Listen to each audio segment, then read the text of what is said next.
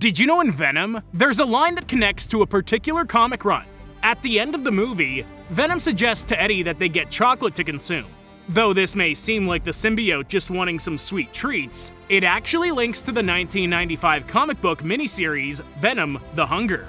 In this comic book story, it's made known that symbiotes need a chemical called phenethylamine, which is available in brains, and you guessed it, chocolate. It also explains why Venom has an affinity for biting people's heads off. If you love Marvel, subscribe.